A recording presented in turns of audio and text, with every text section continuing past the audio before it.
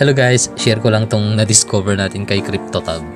Kasi may mga bago na siyang mga features eh. Shoutout sa mga makakarelate ah. I'm sure maraming nag-install nito na sa inyo for the past few years. Kaso nga lang, baka lang in-uninstall nyo na kasi natatagalan, na babagalan kayo sa kita, tapos naliliitan kayo sa kita. Maliit kasi guys ang kita dito kapag mag-isa ka lang. Pero kapag may grupo ka rito, may tendency mapabilis yung cash out mo at mas mapalaki yung maiipon ng grupo. Tingnan nyo to guys. Sa bagong features kasi ni CryptoTab, ito siya. Pwede ka magdagdag ng worker. Ayan. Yun nga lang, ang supply lang dito kasi sa app kasi sa phone, pwede kang mag-install ng mining mo dito sa phone ng solo, pwede ka ring sumali sa grupo. Yun nga lang, pagsasali ka sa grupo, sa mining pool, sa mga group, kailangan desktop ka or laptop yung gamit mo. Kasi ito yung features niya. Pag, pag mag-add worker ka, ito siya. Add worker, ayan. Uh, kailangan mo lang yung copy ID o kaya yung setup link ng leader ng pooling group na yon para makasali ka. Ngayon, lipat tayo sa desktop. Okay, pakita ko yung, ayan. Ito yung ano, ayan. Nakikita nyo to guys, itong CryptoTab Farm. Pag i-install nyo yan at pinatakbo nyo sa desktop nyo yan at nakasali kayo sa pooling group, automatic na nadedetect yan ng ano ng nagpapatakbo ng pooling group na yon. So kunyari i-off natin yan ha, pagsasabayin natin. Ipapakita ko tong itong ano mobile device ko at tong desktop ng sabay. Tingnan niyo to guys. I-off ko to ha. Tingnan mo, magpapakita dito sa mobile device na tumigil sa pagmina itong desktop miner. Okay, i-off natin. Okay. Ayun, 'di ba? Mining post. Mining has been post for desktop, E7, FNNBN. Ngayon, ika ipindutin ulit natin tong on pag magmimina siya. Ayan, mining has been restarted, sabi niya. Diba? Ang galing. So, ano yung ano neto? Ano yung uh, magiging function ng CryptoTab Farm? Ganito yan. Mas mapapabilis yung pagmimina ng grupo kapag mas marami. Tapos dito sa earnings, ito, withdrawal available through your CryptoTab Farm. Ibig sabihin yan guys, uh, yung lahat ng naiipon mo na rito, pag uh, mawi-withdraw mo yung mga yan dito sa CryptoTab Farm ng sinalihan mo. Okay, halimbawa magwi-withdraw tayo. Kunyari ito, i-withdraw natin. Kaso kakay-withdraw natin kanina eh. So, bukan natin kung pwede na. Kaka-withdraw lang kasi natin to kanina. Ayan, try natin. Okay, send to CryptoTab. At ang maganda pa nito guys, pag nakasali ka sa CryptoTab farming, hindi mo na kailangang i-download yung kumbaga, hindi mo na kailangang i-download yung CryptoTab browser mo. Kasi nga, centralized na yung pag-withdraw ng kinita ng grupo dun sa CryptoTab. Kasi lahat kasi ng, mawi- ng kikitahin ng CryptoTab, ililipat sa CryptoTab, ano niya eh, send to CryptoTab katulad niyan. Yung kikitahin mong mamimina sa CryptoTab farm, i-send niya sa CryptoTab app. Ito siya. Ayan. Inaaral natin guys, ang ganda rin guys. Maganda yung bagong features ngayon ng CryptoTab browsing. Sa mga gusto mag-sign up sa bagong features ngayon ng, ng CryptoTab, pwede kayong mag-sign up. Ito yung link. Bigay ko na lang din. Tapos kung ayaw nyo na magmina ng inyong uh, mag-solo, pwede rin kayong sumali sa CryptoTab farm pooling natin. bit.ly slash phminer. Ayan siya. Ayan bit.ly slash phminer, mariredirect kayo doon sa CryptoTab Max. Kailangan CryptoTab Max ah. Ngayon kapag halimbawa ida-download nyo at may nagpop up na ibang mga application, i-cancel nyo lang yon Tapos diretso kayo sa Google. Pakita ko na lang mamaya kung paano yung sequence ng pag-download. Tapos regarding naman dito sa pagsali sa farm, yun nga lang pag sa, sasali kayo sa CryptoTab farm, kailangan desktop or laptop yung gamit nyo para makasali kayo sa pooling. Yun lang yung disadvantage. Hindi ka pwedeng sumali sa pooling kapag Android yung gamit mo. Pag Android na kasi yung gamit mo, pwede ka na lang ding magsulong magmina rin. So, solohin mo na yung pagmimina. Ito na siya. CryptoTab Farm. Tapos, lipat tayo rito. Ayan. Pwede ka lang magdagdag na lang din dito ng add slots. Ayan. Yun nga lang sa, sa ang disadvantage naman ng pagsosolo kasi, kailangan mong bilhin yung slot. Katulad niyan. Bibilhin mo yan. So gagastuhan mo yan. Pani, uh, additional na gastos yan. Samantalang kung sasali ka sa mga pooling group, wala ka nang gagastuhin sa slot. Kumbaga ang gagastos na sa slot yung leader na ng pool, ng pooling, ng pooling group. Ang gagawin mo naman ngayon kapag uh, nagsolo ka dito sa Android mo, bibili ka ng slot plus bibili ka pa ng miner mo. Ito, pool miner. Ayan. So, mabibili ka kung gaano kalakas yung hash rate per seconds na bibilhin mo. Kunyari, calibrate mo. Gusto mo ng 39,000 hash per seconds. Tapos 1 month. So, matik na 1,420 kagad yung babayaran mo. Hassle. Diba? Gastos, magastos, sakit sa ulo. Ah, uh, hindi pa natin alam kung paano ang break even nito kung yung 1420 na gagastuhin mo dun sa hash rate na 39,000 hash per seconds eh break even ba or lugi kasi sa mining hindi mo titignan dyan guys kung lugi ka eh titignan mo dyan guys yung pag-appreciate ng value ng token ng bitcoin.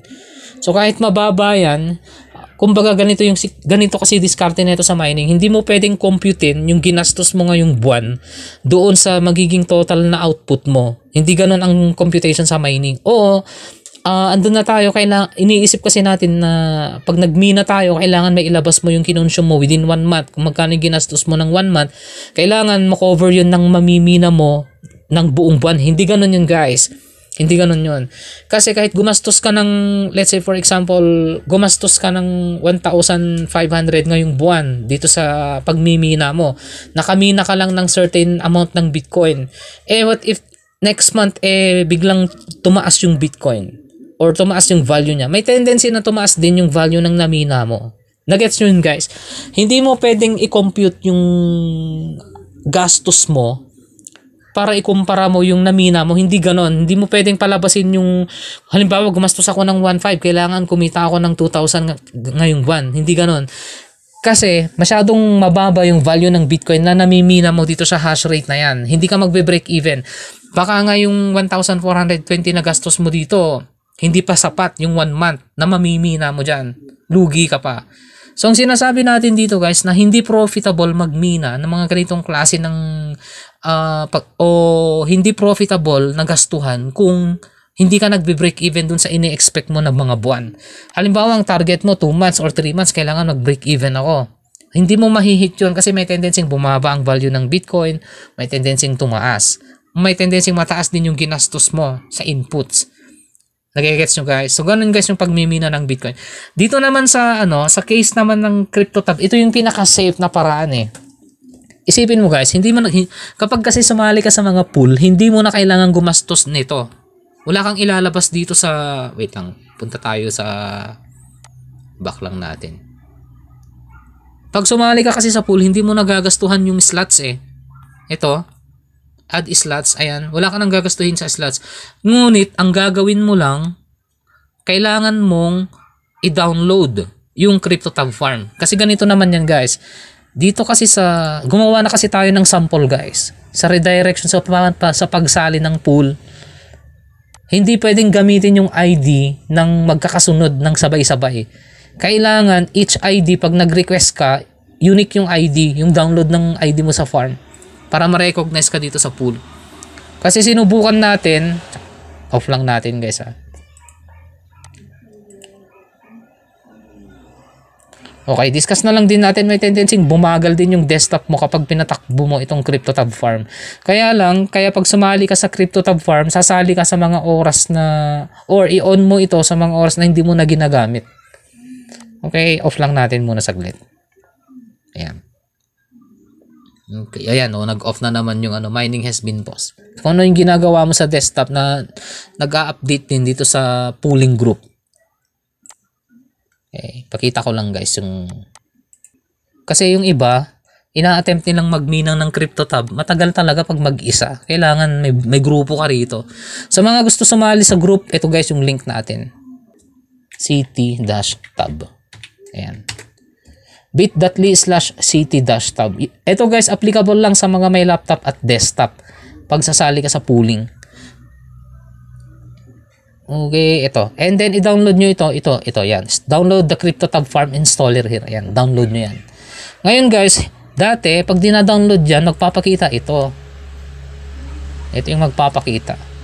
So, connect this computer to CryptoTab Farm. Ibig sabihin, ina-attempt ng device mo or ng laptop mo or ng computer mo na kumonek sa pooling group na ginawa natin. Ngayon, ito yung problema. Your code has already been used. Please enter a new code. So, hindi pwedeng gamitin hindi pwedeng gamitin yung nas, nagamit na na code. Ngayon, para ma-centralize natin to at mabigyan natin ng code lahat ng gustong sumali sa group, ganito yung mangyayari. Itong itong ano, itong link natin na to na download na to papalitan natin. I-redirect na lang natin yan sa messenger para kontakin nyo ako just in case gusto nyo sumali para bigyan ko kayo ng code para makasali kayo sa pooling. Ayun, magkano yung kita? Tatanungin nyo. Malamang, ito yun. Sa kita, ito guys, kung ano rin yung naging share mo dito, ito. Kasi sa earnings, pag tinap mo yan, withdrawal available through your CryptoTab Earth, CryptoTab farm. Saan makikita yan? Makikita dito. Pag nag-withdraw tayo, dito siya. Yun. Dito natin wini-withdraw yan. Saan lilipat? Lilipat yung kinita ng lahat ng farmer papunta sa CryptoTab naman. Dito naman na siya. Ito pa yung advantage. Kapag halimbawa sumali ka sa farm, hindi mo na kailangang i-download pa ulit yung CryptoTab. Kasi ang daming application kasi na ginagamit sa CryptoTab eh. Ang daming sequence. Baka mahilo pa yung ibang mga tropa natin. Ayan. Dito na iipon lahat. Ayan. Sa CryptoTab dashboard. Dito siya. Ngayon, paano ilalabas yan? Ilalabas mo naman yan sa wallet, sa CoinsPH, or sa ibang wallet na nakadesignate dito sa CryptoTab. And then from there, kung let's say papunta sa CoinsPH, from CoinsPH papunta na sa GCash. Ganun na yung nangyayari. Ang advantage nga lang guys ng pagsali sa mga CryptoTab farm, lalo na kung may grupo, mas mabilis. Mas mabilis yung pag pag-iipon. Okay? Tsaka mas masaya guys, meron kang ano eh, may grupo. Ayan, dito na magpapakita na rito, ayan na, view total earnings. Ayan, so so far, ay install lang naman natin kanina, kaya konti pa lang. Nasa 0.05 na. Okay, magkano yan? 0.05. Check na natin sa USD. USDT. USD to PHP. 0.00 0.05. Magkano yan? May 2.73 pesos na rin okay na rin. Uh, hindi naman ano, wala ka namang ginagawa. Hindi naman na-drain yung battery yung battery nito eh. Kumbaga hinehandle lang ng app yung ano eh, yung nangyayaring pooling dun sa crypto tab farm. Okay, so exciting din guys, ang panibagong adventure na pwede nating pagsamahan. Again, ito, papalitan na natin to. So, ang gagawin natin dito, okay, ilagay na lang natin. Yun. Ayan. So, para pag in-access nyo to, bit.ly ct-tab, ayan, uh, click nyo pa rin tong download guys. Click nyo pa rin yan. Kasi mare-redirect kayo doon sa CryptoTab farm, doon sa download page ng miner. Ito siya. Ayan. So, you, you, your code has already been used. Please enter new code. Ayan. Or paminsan-minsan maglalagay ako ng ano, maglalagay ako ng mga codes na hindi pa gamit dito. Pero pagka uh, gamit na, kontakin nyo na lang ako para mabigyan ko kayo ng code. May code kasi yan guys para makasali. Yan, admin Facebook, click nyo lang yan. Mariredirect kayo dito sa messenger na sa akin. Alright guys. So that's it yun po yung ating medyo simpleng episode ngayong hapon tungkol kay CryptoTab Farming sa mga gusto sumali sa pooling. Sali na lang din po kayo. Again, this is DMC Trend. Please like, share, subscribe, and comments. Thank you for watching. Magandang hapon po sa ating lahat.